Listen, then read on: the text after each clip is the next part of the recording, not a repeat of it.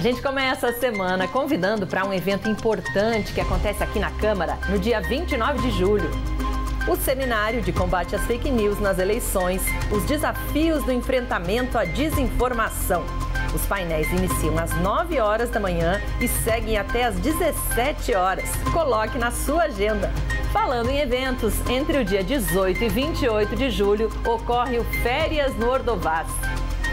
São oficinas de dança de salão, urbana e de matriz africana, capoeira, pilates, produção audiovisual e diversas atrações que acontecem no Centro de Cultura.